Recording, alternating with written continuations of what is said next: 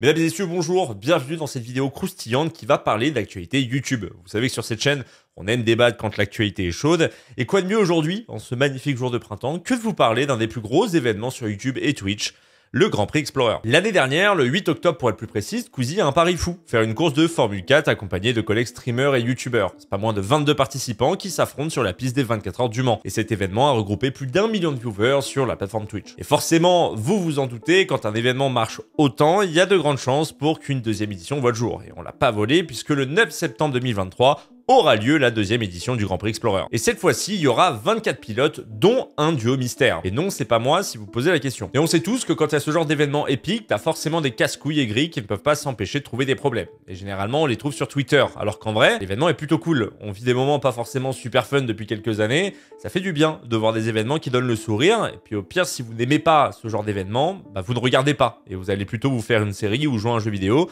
plutôt que d'aller sur Twitter pour insulter tout le monde. Ouais, faites pas genre là derrière votre écran.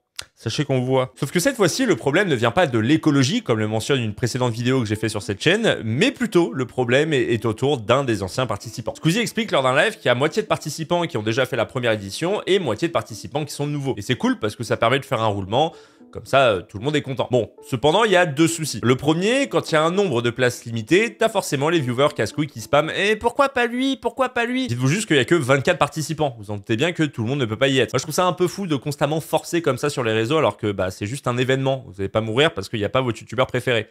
Voilà, soyez mature un peu. Oh la condescendance.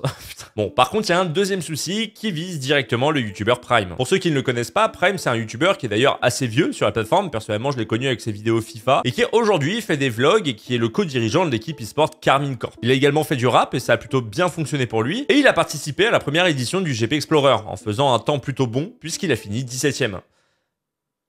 Ouais. Non, en vrai, il a eu un accident sur la course, mais son temps autour était plus que prometteur. Même certains l'appelaient le prodige, c'est vous dire. Bah, si n'importe qui pouvait devenir pilote comme ça, ça se saurait, en fait. Et euh, bah là, il s'avère que, pardon, hein, c'est euh, l'enfant prodige, c'est bon. Et lors du live de Squeezie, on peut vite se rendre compte qu'il n'y a pas ce youtubeur que tout le monde attendait, mais un duo mystère. Et donc forcément, beaucoup de spéculations autour de ce duo mystère. En voyant l'avenir prometteur de Prime en Formule 4, tout le monde s'attendait déjà à le voir annoncé. Bon, déjà, pour être honnête, ceux qui disent que c'est un coup de com', pourquoi parler de duo mystère si c'est Prime? Il était déjà là avant, et étant vlogueur en plus, il aurait déjà partagé ses sessions, comme a pu le faire le bouseux. Donc ça aurait été grillé. Alors moi, j'ai ma petite théorie, n'hésitez pas à donner la vôtre dans l'espace commentaire si ça vous intéresse, mais en gros, Squeezie parle de duo mystère parce qu'entre un autre duo à trouver suite au désistement du précédent et le live d'annonce, eh bien le délai était trop court. Et ça permet en plus, en utilisant le terme mystère, de faire un petit peu monter la sauce. Mais laissez-moi vous expliquer pourquoi je pense ça, parce que bah forcément, vous n'avez pas encore le contexte. Le 4 mai, Prime sort une vidéo qui s'intitule Pourquoi je ne fais pas le GP Explorer 2. Et si au début dans cette vidéo on a une ambiance assez particulière avec une voix style influenceur qui veut me vendre une formation pour reprendre ma vie en main et m'expliquer qu'il est temps d'arrêter de ne rien sur mon canapé et de faire du sport ou de la thune, eh bien nous avons du contexte qui permet de comprendre pourquoi il n'est pas là lors de la deuxième session du GP Explorer. Non, c'est faux.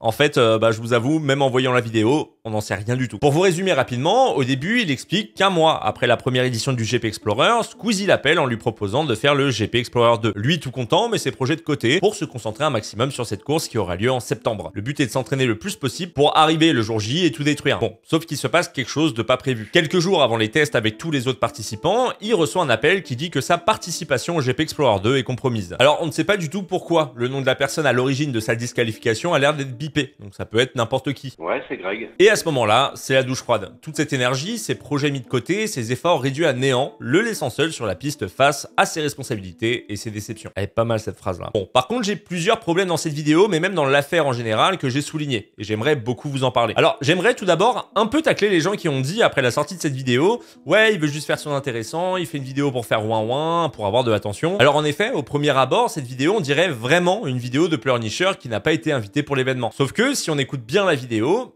il a été invité. Un mois après le GP Explorer, Squeezie lui propose de faire la deuxième édition. Prime a donc sacrifié des mois de sa vie pour participer à un événement qui au final le rejette les jours avant les premiers tests. Et soyons honnêtes, n'importe qui à sa place aurait été aussi frustré. J'ai également vu, et sûrement vous aussi, un clip TikTok avec un super gameplay sur GTA V juste en dessous pour pas perdre l'attention du viewer, où on voit Gotaga et Sylvain de la chaîne Villebrequin parler du comportement de Prime lors du premier Grand Prix Explorer, qui n'était pas folle, et selon le créateur, ce serait la raison du pourquoi il n'est pas là pour le GP Explorer 2. Bon, sauf que, comme le dit un commentaire, ce clip date d'après la victoire de Sylvain, donc de 2022. Et vous en doutez, si Squeezie a réinvité Prime pour faire la deuxième édition, le problème ne vient pas du fait qu'il y a eu quelques soucis avec le staff. Sinon, Squeezie bah, ne l'aurait jamais invité. Ou alors, il l'a invité sans en parler autour de lui, et après, le staff a forcé Squeezie à le désinviter, mais bon, pour être honnête, je trouve quand même cette théorie peu probable. Bon, sinon pour en revenir à la vidéo, j'ai deux problèmes. Il a été désinvité, pour une raison qui est je pense assez grosse, vu ce que dit la femme qu'il a au téléphone. Ça veut donc dire que si ce n'est pas un coup de com', eh bien il peut faire ce qu'il veut, il ne pourra pas participer.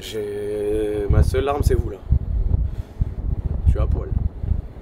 Dès que vous voyez quelque chose sur le GP, libérez l'éclair, libérez l'éclair, libérez l'éclair. À part ça, je sais pas ce qu'on peut faire là. On continue. Là, je trouve qu'on a affaire à du forcing inutile en demandant à sa communauté de spam partout libérer l'éclair alors que le souci est interne. Et que surtout, ok, faut te libérer, mais c'est quoi la raison de ta disqualification? Parce que si ça se trouve, elle est legit. Et demander à sa communauté du soutien sans avoir le moindre contexte, je trouve pas ça forcément super. Libérer l'éclair.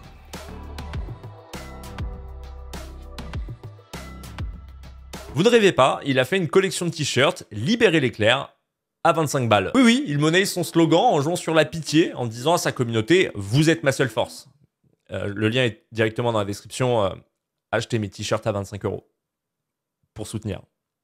S'il vous plaît. Autant proposer à sa commune de casser les couilles partout pour pouvoir participer à un événement, ça reste les réseaux, c'est un jeu. C'est pas super méchant, même si comme je dis plus tôt, moi je trouve pas ça forcément très ouf. Mais commencer à vendre des t-shirts et monnayer ce boycott, là, soyons honnêtes, ça a quand même vachement loin. Et ce que je trouve super intéressant avec cette affaire, c'est à quel point on ne sait rien du tout, mais plein de gens balancent des sources sûres et t'en as qui y croient. Quand ils voient un clip de 2022 qui parle du GP Explorer et que celui qui reprend le clip le poste en 2023, beaucoup pensent que le clip est récent. Et c'est ça toute la beauté des réseaux sociaux, c'est qu'avec un clip hors contexte, on peut créer de grandes histoires. Vraiment, faites attention à vous quand vous voyez des clips qui sont repris par des comptes non officiels. Beaucoup sont juste là pour faire du clic en vous donnant aucun contexte, afin de vous pousser à vous indigner en commentaire. Et ça marche, hein, parce que les gens vraiment sur TikTok ou même sur Twitter, bah, ils aiment beaucoup s'embrouiller pour rien, en vrai.